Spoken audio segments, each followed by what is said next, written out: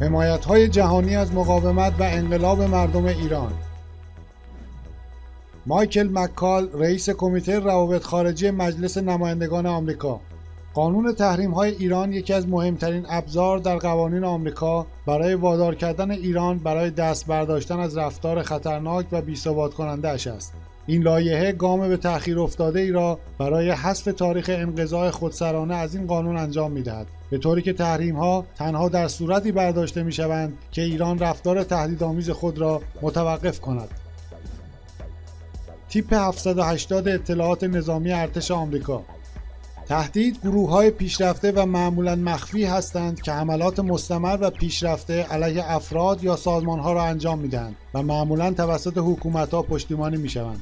ایران با استفاده از بدافزار بلاچاو علیه اهدافی در آمریکا، اروپا و آسیا اقدام می کند. محققان شرکت امنیت سایبری بیت دیفندر این بدافزار را به یک گروه هکری تحت حمایت دولت ایران نسبت دادند. دکتر محمد الموسوی نویسنده و تحلیلگر عرب. در اینجا و با توجه به حقایق فوق این سوال پیش می آید که غرب با این فیلم های ناچیز کارتونی چه می کند؟ آیا واقعا می‌خواهد پسر شاه را به حکومت از میان رفته و سرقت شده بازگرداند؟